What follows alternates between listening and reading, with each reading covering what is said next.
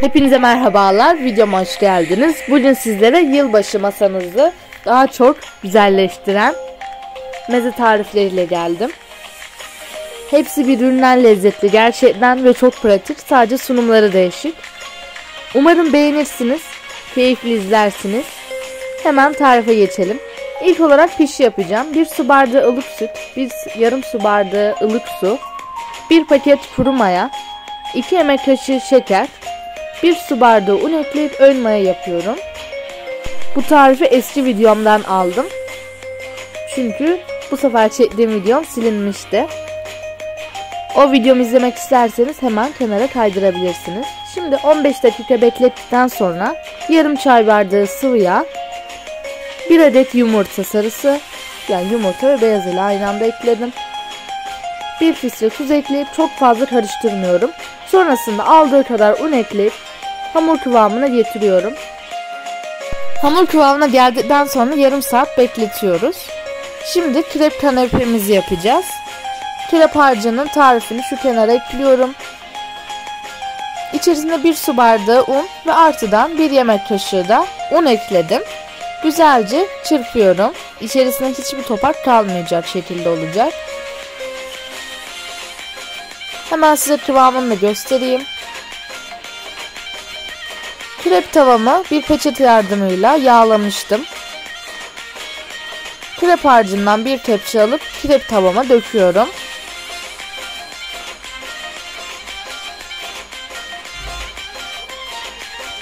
Ve pişmesini bekliyorum. Piştikten sonra çeviriyorum. Ve çok güzel oluyor gördüğünüz gibi. Kanepemiz için biraz marul, salam, kaşar peyniri,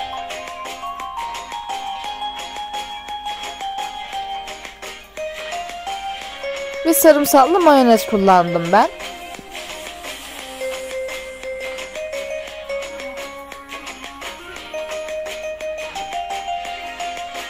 Çok basit gerçekten. Umarım siz de denersiniz. Sardıktan sonra kenar kısımlarını kesiyorum. Sumu birazcık daha güzel görünsün diye. Ve istediğim boyutta kesiyorum.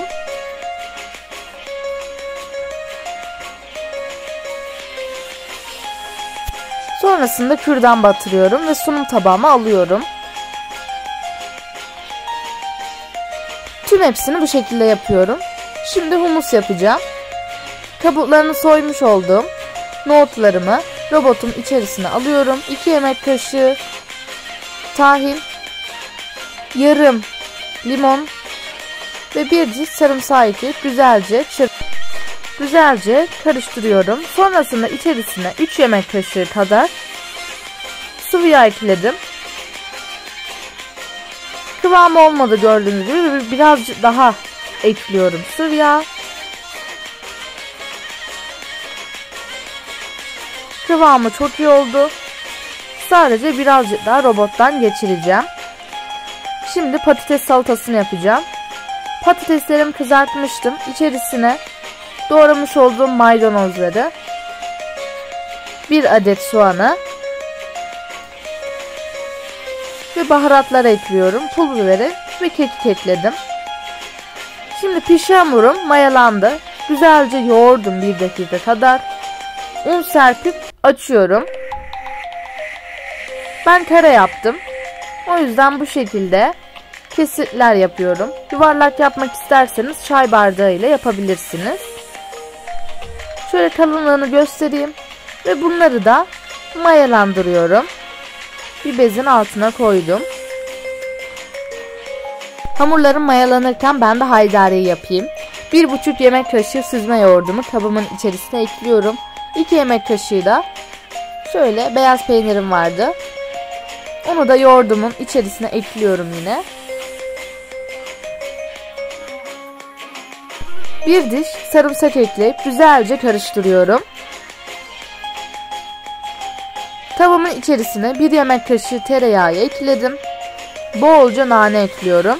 2 tatlı kaşığı kadar nane ekleyip güzelce karıştırıyorum.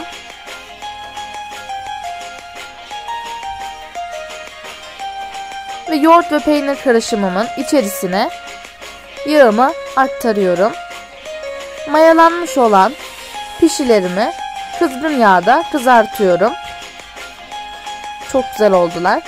Haydariyi salatalıklarımın üzerine sürdüm. Bu sırada ben de yılbaşı tabağı hazırlıyordum. Sosisleri bu şekilde kesik yapıp kızartıyorum. Yılbaşı tabağımın üzerinde portakallar vesaire var. Çok şık duruyor gerçekten. Pişlerin içerisine de salam, havuç ve marul koydum. O şekilde sunum yaptım. Humusu da tuzlu bisküvinin üzerine sürdüm. Ve şöyle şekiller yaptım. Umarım beğenirsiniz. Masam gerçekten çok güzel oldu. Ben çok beğendim. Çok basit ama sunumları çok güzel. Umarım beğenirsiniz. 2022 yılı inşallah hepimiz için çok güzel bir yıl olur. Sağlıklı, mutlu bir yıl diliyorum hepimize. Umarım çok güzel bir yıl olur gerçekten. 2020 yılında yorulduk çünkü.